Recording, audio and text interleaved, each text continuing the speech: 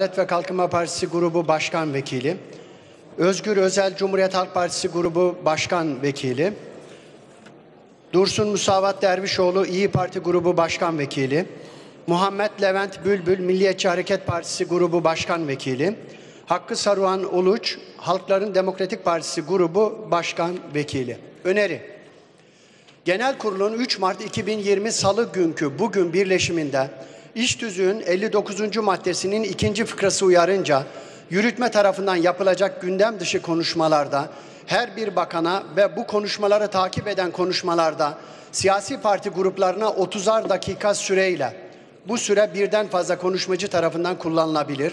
Ayrıca Türkiye Büyük Millet Meclisi'ne grubu bulunmayan milletvekillerinden 3 kişiye beşer dakika Sevgili söz verilmesi. Mecliste tüzüğü 59. İdlib oturumu e, yapılacak birazdan. Kapalı oturum olacak.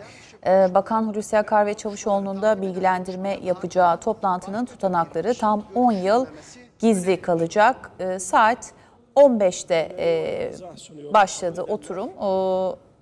Meclis Başkanı Mustafa Şentop e, açılış konuşmasını yaptı. Vekilleri bilgilendirdi İdlib oturumuyla ilgili. E, 34 askerin şehit